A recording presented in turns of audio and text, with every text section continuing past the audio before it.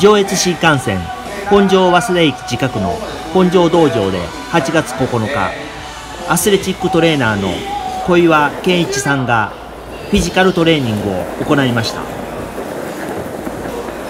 本庄道場は昨年1月格闘技ジムアカデミアアーザの本庄支部として代表の吉田さんが開校しました。さまざまな格闘技をそれぞれのスペシャリストが指導しています。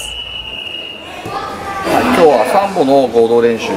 をしてまして、えーまあ、いろんなこうレスリングの練習や、えーフィジカルトレーニングをやってるんですが今日は、えートレーナーの先生を呼んでのトレーニングの時間ということになってます。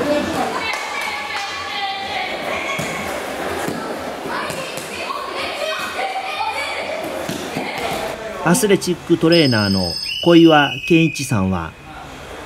パーソナルトレーニングも行っています。もともと体動かしてたんですけどやっぱりちょっと老いと怪我をするのが嫌なんでまずそこを考